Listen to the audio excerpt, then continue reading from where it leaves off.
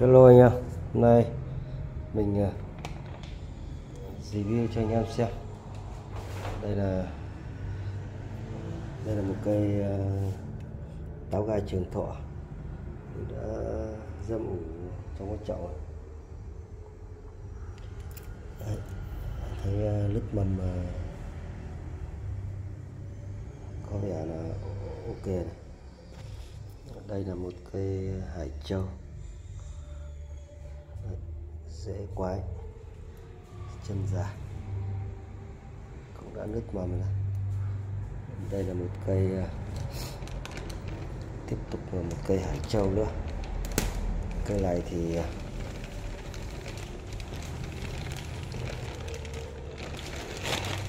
cây này thì nó không có bầu rễ.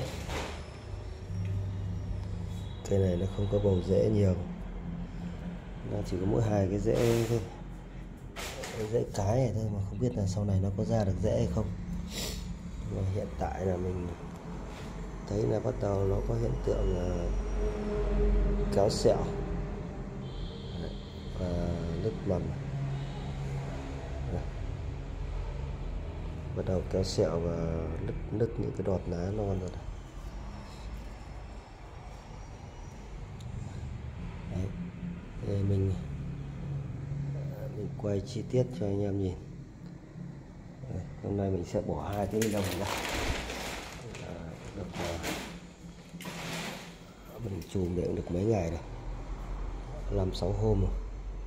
Đây nó có cái thân à, mình vẫn để nguyên cái bao bì để cho nó cho nó không bị khô. Mở ra cho nó quang hợp cái không khí tự nhiên. Bây giờ trong này nó có hệ thống mái che. Đây, đây cũng là một cái cây ờ, hôm mình ờ, cây này là cây huyết đằng. Thử ờ, kiểm tra xem sao nhé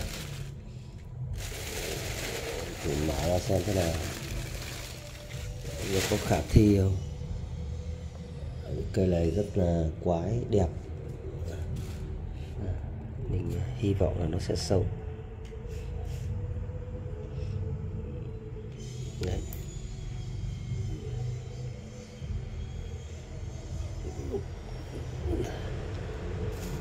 mình đã chùm ni lông rất kỹ càng, ủ rất cẩn thận. Hiện giờ là chưa thấy ờ, chưa thấy hiện tượng nứt mầm.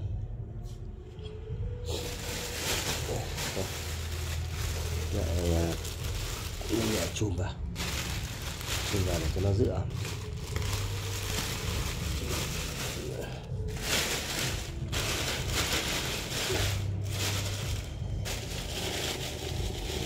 Tất cả những cái cây phôi này. Mình đưa vào trong nhà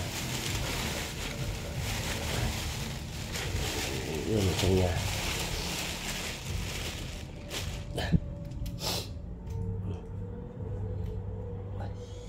Cây mai châu thủy đây. Cây này cây hải châu. Sống khỏe này. Cây này cũng mai châu thủy đây. Lá nó có vẻ hơi buồn buồn một chút. Cây này mình sẽ cho chất trồng và mình mình xử lý hải châu đây. Trái của nó chín nó đỏ như này. Rất là đẹp này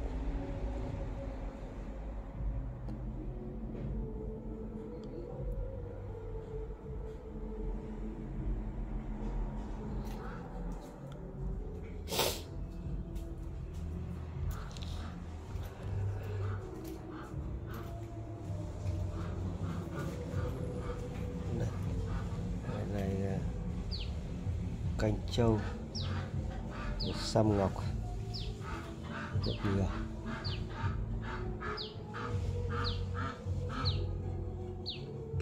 Giờ có thời gian để làm.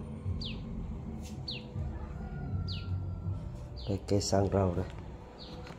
Cây sang rau đây, anh em nào đam mê còn quái thú, gốc sang quái thú này, vanh của nó thì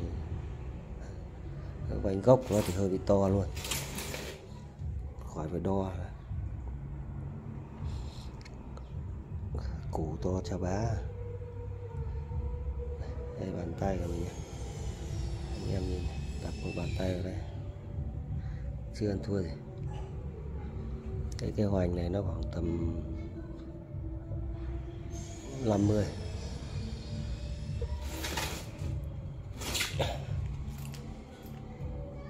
cái này phơi ra ngoài nắng thì khoảng ờ, hơn tháng là là nó sẽ ra hoa.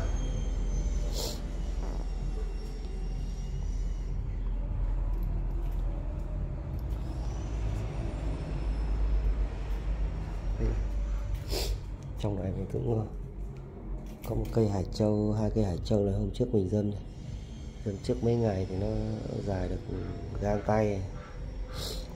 Nước đợt cây trong này. Nói chung là đều lứt mầm hết rồi.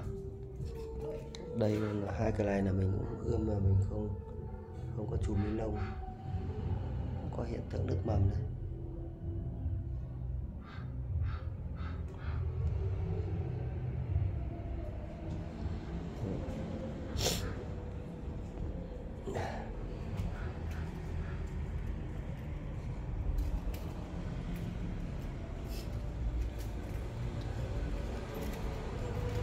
ngoài lại có rất nhiều các loại.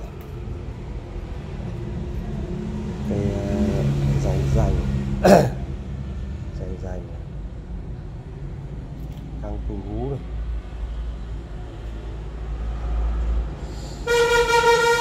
Sơn liễu này. Sơn trà này. Cây này cây sơn trà nhé.